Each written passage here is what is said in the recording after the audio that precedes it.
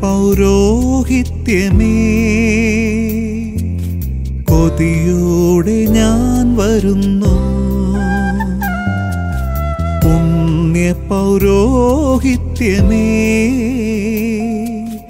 കൊതിയോടെ ഞാൻ വരുന്നു. സ്നേഹമുള്ളവരെ എന്റെ കുഞ്ഞുനാൾ മുതലുള്ള സ്വപ്നം പൂവണയുകയാണ്. ദൈവകൃപയാൽ ഡിസംബർ ഇരുപത്തേഴാം തീയതി ആളൂർ സെന്റ് ജോസഫ് ദേവാലയത്തിൽ വെച്ച് ഞാൻ തിരുപ്പട്ടം സ്വീകരിക്കുകയാണ്. നിങ്ങൾ എല്ലാവരെയും സ്നേഹപൂർവം സ്വാഗതം ചെയ്യുന്നു. ഈശോയ്ക്ക് വേണ്ടി ജീവിക്കുവാനും ഈശോ ആഗ്രഹിക്കുന്ന പോലെ ജീവിക്കുവാനും ഇനിയും നിങ്ങൾ എനിക്കായി പ്രാർത്ഥിക്കണം ഇനി പിരിയില്ല ഞാൻ നിന്നെ.